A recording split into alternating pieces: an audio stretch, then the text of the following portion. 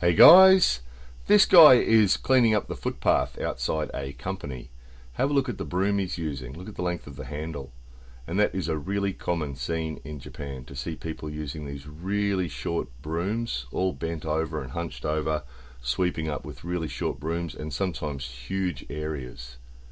So these brooms are actually in our house. We didn't buy these. Wouldn't we wouldn't buy these, but these are actually in our house and it'll give you a bit of an idea and this is what people often use to do huge areas of sweeping and all bent and hunched over. And those of you who've seen our hardship and suffering video will recognize this that they just put up with it because complaining to the boss or saying, you know, I want one with a longer handle because being hunched over like that's too uncomfortable would be unheard of. So they just all put up with it because no one wants to be complaining because it's just a normal situation. Everybody has little brooms like that so complaining about it would be silly.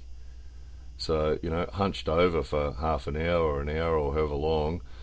You mean you can get longer ones. So here's our witch's broom. These are really common, made out of bamboo. So the brush is bamboo and the actual handle is bamboo and then just a little bit of wire to tie it together. These are really common. We've actually showed you these before. You still buy these in the home centres. So the usual the usual choice is one of these or one of those really short-handled ones. And it's amazing how often people pick the short-handled ones. So again, it's just a matter of it's the way it's done, so it's the way it's done, so it's the way it's done. Nobody questions it. Nobody complains about it. Nobody says, hey, I've got an idea. How about we put the long handle from the rake onto this little broom and then we've got a long handled broom.